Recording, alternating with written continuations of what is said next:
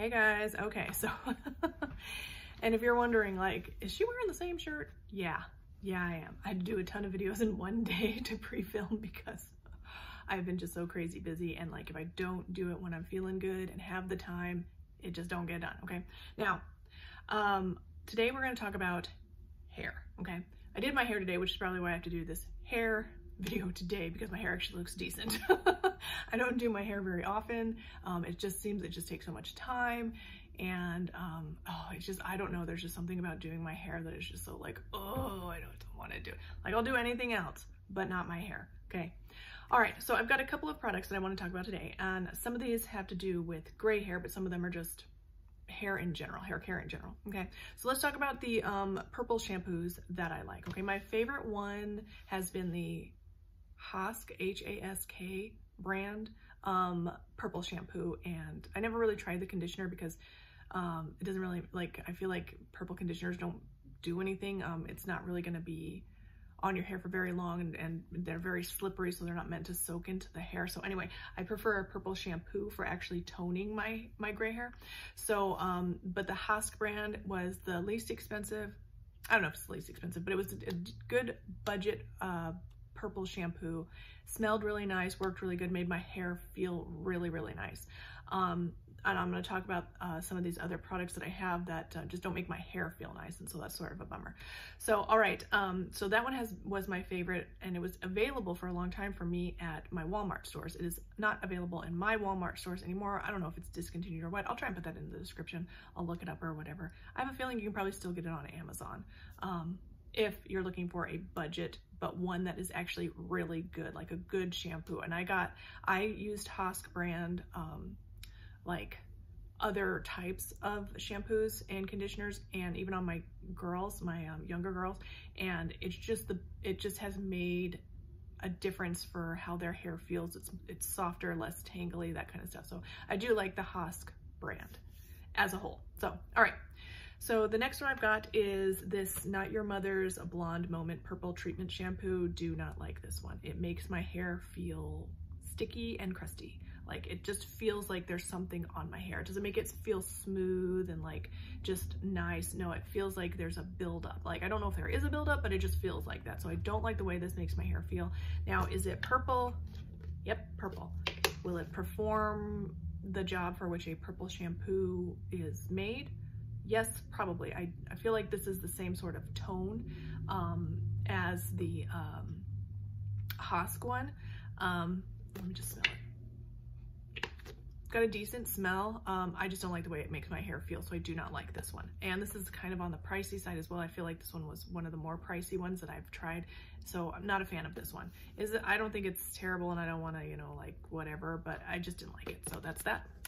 Next one, this one is the, now these have been in my shower, so, you know, forgive the look of the bottles. They're pretty um, beat up looking. So this is the Aussie Beat the Brass Purple Shampoo um, shampoo. okay, so it says, this says Beat the Brass, like you can't see it because it's all washed off. But um, this one, the shade of it is a bit warmer. Um, let me see if I get a little bit of it out. Um, it's gonna take forever. So this one was fine. And I liked this, oh, I really, mm, I really like the smell of it. Um, oh, it smells so good. Um, but the shade of it is almost a little bit warmer than the more more uh, bluish purpley tone as this. And also like, you see how like, you see that? Like, yeah, it's like, it's it's got a warmer tone than um, the other purple shampoos that I like, which is, that's not what I'm looking for. I want it to be more on the blue side so that it will um, uh, counteract all that brass. Okay, so um, yeah, and it's very like gel-like. Now the other ones are gel-like, but they have almost like a shimmer in them. So um, it, uh, it provides a little bit of shine on your hair as well. So um, this one also did kind of make my hair a little bit um, sticky, crusty feeling. So that's another thing that I didn't like about this, but smell, oh, it smells so good. I just really love the smell of this. Um, yeah, I don't know. Uh, this was not a favorite. It was inexpensive though. And um, I don't know that I like hated it, but like, you know, I'm, I'm dispensing it into my hand to try and wash my hair. And I'm like, oh, this is too, this is too warm. That's not what I'm looking for. So yeah, didn't like, didn't love that one. Okay, this one, very nice. This is the Amika Bust Your Brass um, Cool Blonde Repair Shampoo. Okay, I, this is just a, a sample that I got from like a Sephora order that I did, but both of these were so nice. It's the shampoo and the conditioner, but the shampoo is just so nice.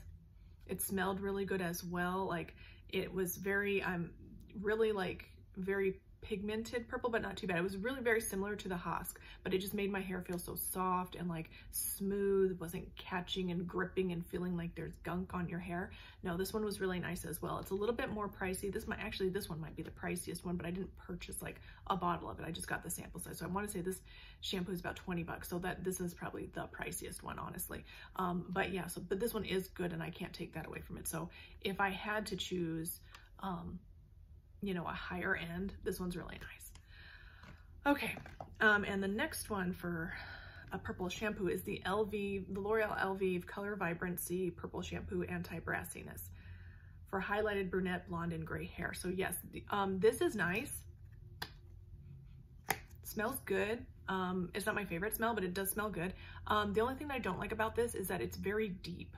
So if you use this and you have like, I've got silver and gray, if you use this, your hair is going to turn out sort of duller because it'll, it'll counteract the brass, but your, it'll be, it'll, it's almost like it's making, it'll make your hair darker. So I would say like use a tiny amount and then like every so often, like you couldn't wear, use this like every day or even every other day, your hair will turn dark gray. And if that's not, if that's what you're looking for, good. I want silver. I want shining, bright, almost like white silver hair for my silver silver um, patches. Like here, very silver, but here, very like gray. See what I'm saying? So I've got like all these naturally highlighted hair and um, I want the silver to look way silver and then the gray just to not look yellow. So, um, but this is very dark, so that's something you have to think about as well when you're choosing a purple shampoo. Last one I've got for purple shampoos is the L'Oreal Le Color Gloss, and it is comes in a box like this. One Step Toning Gloss, okay? This is basically like a very deep conditioner that provides like a gloss to your hair. And I don't know that this like is like providing like this insane gloss when I get out of the, the shower. I'm just like, oh, my hair's so shiny. It is very conditioning and it is very smoothing and it is very like, very smoothing. So like I have got mostly straight hair. It's not completely straight though, and it's very frizzy. Um, like when I get out of the shower, if I just let my hair air dry, like you've seen my videos, ladies, like it's not always like smooth and you know, like this. A lot of times it's like, you know, but that's just how my hair is. Like because it's not, you know, completely straight and it's very frizzy looking, this helps to kind of tone that down a little bit, but not not like a ton where people, like I will notice it because I'm used to my crazy, you know, frizzy hair this does tone that down quite a bit. So, and as far as the toning aspect, um, I don't know, like, again, I feel like the shampoo is the way to go for toning. Um, this deposits a little bit of pigment, but because it's so slippery, is like how much of that is really going to stick to your hair, you know? So anyway, that's, and I'm, I'm not a hair guru, ladies, so get off my back. Don't be coming at me in the comments with all this stuff. Um, but I don't know. I feel like if you want this just for the glossing aspect, then you're probably good. And I've used the, the clear gloss of this and really liked that. Um, and so I feel like if you're looking for a purple toning product, I think a shampoo is probably the better way to go. And then if you want a glossing product, this one that's in the clear shade, probably the way to go. So that's that. Okay, now here's a couple other products that I have for hair. Now, uh, this is the Garnier Fructis, Fructis? Okay, Fructis, I don't know, Fructis Sleek and Shine Anti-Frizz Serum with Argan Oil, and it's for frizzy, dry, unmanageable hair. Instant, sleek, proven strength system, okay? This is okay. This is just basically like a silicone, honestly. So that's what it feels like, yeah. Um, dimethiconol.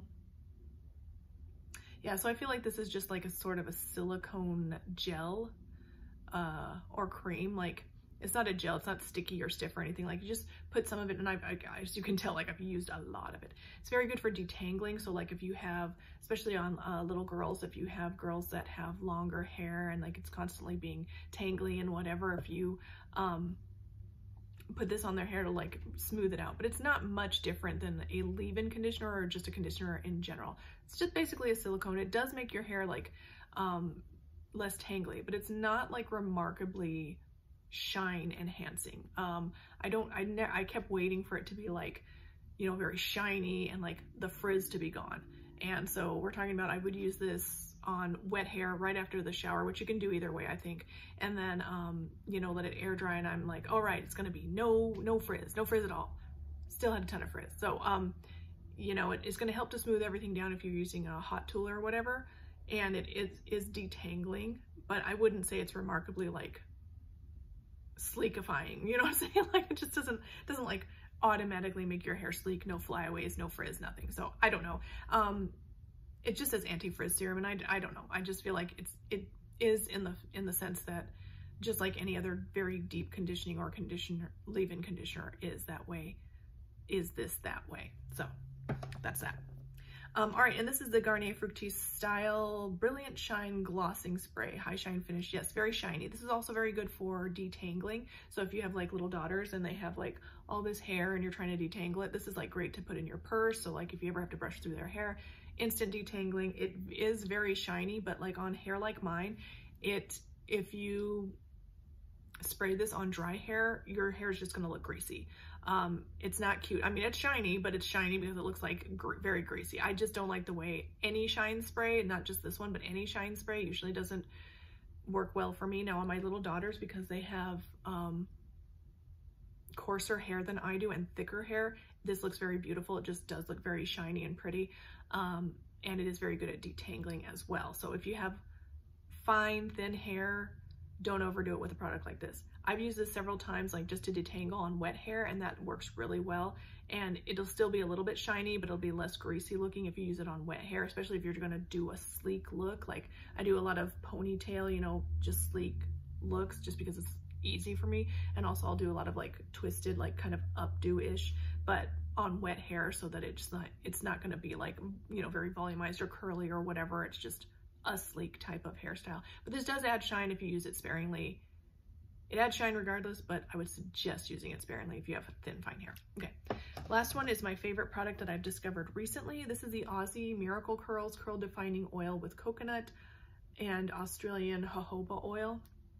This is so nice. Now, it's kind of a, you have to kind of learn how to use it, or at least I did. If you have very coarse hair and you and uh, you're looking for something for curls, you're probably gonna like this. It's a very sticky product. I don't know that I would, no, this is, this is a lot, this is more um, silicone than it is anything else, but it's very, very sticky. So it's a similar product to something like this, but it's slick, um, stickier and it's more smoothing. So if I get out of the shower and I just wash my hair with just a shampoo, and then I use this on wet hair, and I'm talking about like a dime size amount. The pump, if you pump the pump all the way down, gives you a quarter size amount. That's too much for my hair. Um, it would work great for very dry and coarse hair, that much. But I need a smaller amount because I got thin, fine hair, okay? Um, if I put this on wet hair, um, it will smooth it. Like it does what I wanted this to do, which is less frizz, less flyaways. And then if you're gonna straighten your hair, smooth like butter. Like it's just so, and then if you also like, but if you do your hair and you find that like towards the end of the day, like these ends are getting sort of tangly and crusty and it's just about, then you wanna use this in the morning, put a tiny bit in your palm, rub your hands together and just kind of scrunch the ends keeps you from being tangled all day long. My girls really like this too for just taming flyaways and like also detangling as well. So I use this a lot for both of them, but I've loved, I have been loving using just like a dime size amount of this on wet hair so I don't even have to use a conditioner in the shower. I could just come out and put this in my wet hair and it's just so smooth and so sleek and so nice. So great product there. All right, so that's all I got for you guys today for hair products. Let me know in the comments if you guys want to hear more about what I do for my hair. It's not much. What you just saw today, that's what I do. So thank you guys so much. Leave any questions, comments, whatever in the comment section. Please don't forget to thumbs up, like, subscribe, ding my bell, and I'll see you guys in the next one. Bye.